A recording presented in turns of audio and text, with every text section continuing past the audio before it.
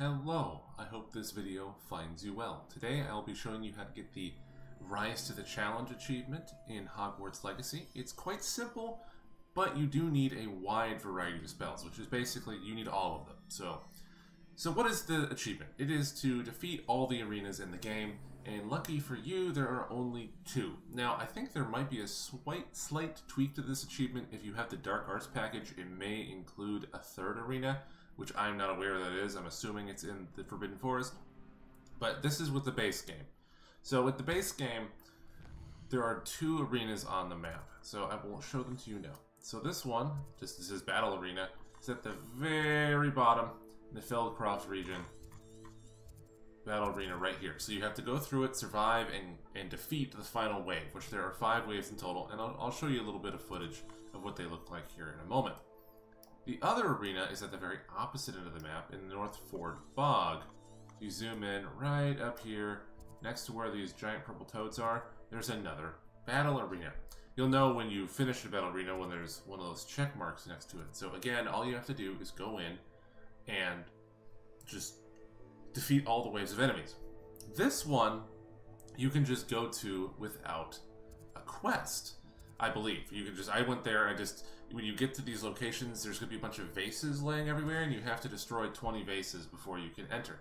This one at the south end of the map is a little different.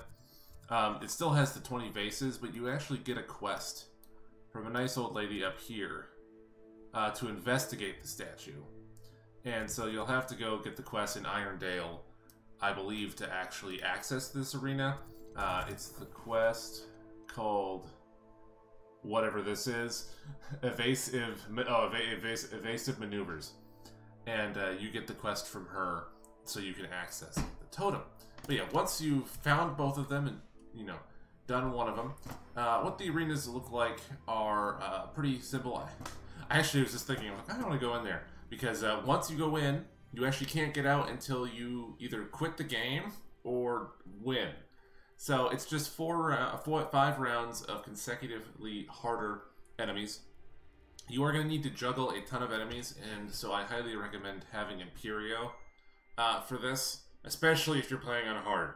Um, the very first wave of the South End one is simply a troll, but by the end you'll be fighting two or three trolls at the same time, and uh, having one of them on your side is incredibly helpful. So um, yeah, I would highly recommend uh, both Crucio and Imperio. I Avocate, uh, Ava, however you pronounce this, the Death Spell is very useful. I don't have it on this run, um, but yeah, I would recommend definitely waiting until basically the end of the fourth trial to attempt getting this achievement because that's when you'll have the most amount of stuff unlocked anyway. But I hope you found this video helpful. If you have any questions or recommendations for future videos, please let me know down in the comment section below, and I hope you have a lovely day.